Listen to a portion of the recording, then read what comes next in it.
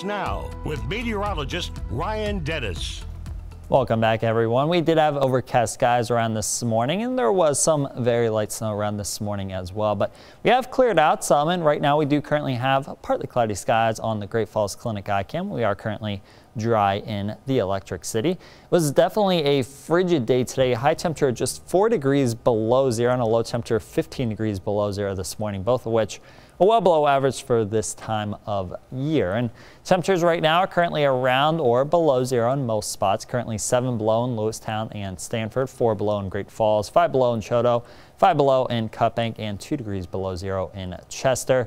Not much in the way of wind right now, which is definitely a good thing, but there's still enough of a breeze around that it feels like it's in the teens and 20s below zero in a lot of locations. And the wind chills are only going to get worse as we go through tonight and into tomorrow morning. And we do have wind chill alerts in effect for the entire state of Montana right now. A lot of central Montana is under a wind chill warning, including Fergus County, Judith Basin County, Cascade County, Lewis and Clark County, Western Teton County, Glacier County, Pondera County, as well as Liberty County up north. And these wind chill advisories and warnings are in effect until 3 p.m. on Wednesday. Wind chills as low as 40 to 50 degrees below zero are going to be possible at times. And taking a look at the future wind chills for tonight, wind chills are going to be in the 20s and 30s below zero for really most of the night tonight as well as tomorrow morning. But then those wind chills will improve some tomorrow afternoon and tomorrow evenings. It will feel like it's in the single digits below zero, which is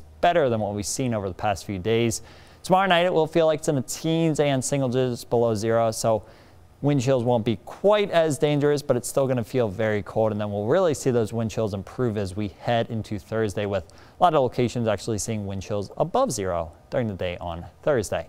Now tonight we are going to have decreasing clouds throughout the night, but there are also going to be areas of fog around tonight as well as tomorrow morning. So just be aware that you may run into some areas of reduced visibility. So please be careful when traveling. Outside of the fog tomorrow, you can expect a lot of blue sky and a lot of sunshine around for the entire day. We are going to have increasing clouds as we head into tomorrow night, and there will be a few scattered sun showers around late tomorrow night. And then there will be some scattered sun showers around during the day on Thursday Alberta Clipper works its way through our area. This snow is going to be light, so we're really not expecting a lot in the way of snow accumulation, but up to two inches of snow accumulation is possible in most locations that do see that snow. Now tonight it is definitely going to be a very cold night. Lows in the teens and 20s below zero and the wind chills will be in the 20s and 30s below zero for most of the night. Tomorrow will be warmer than it was today with high temperatures back above zero with a lot of locations topping out on either side of 10 degrees.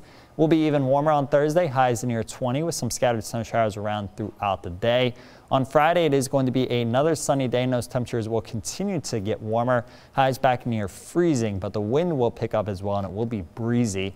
Heading into this weekend, pretty nice temperatures, highs in the upper 30s and low to mid 40s with mostly sunny skies on Saturday, mostly cloudy skies on Sunday, and it will be breezy all weekend with sustained wind speeds between 10 and 25 miles per hour. And then heading into next week, it will be partly cloudy, it will be mostly dry, and will continue to be breezy to windy, and it will continue to be mild as well with highs in the 40s and lower 50s.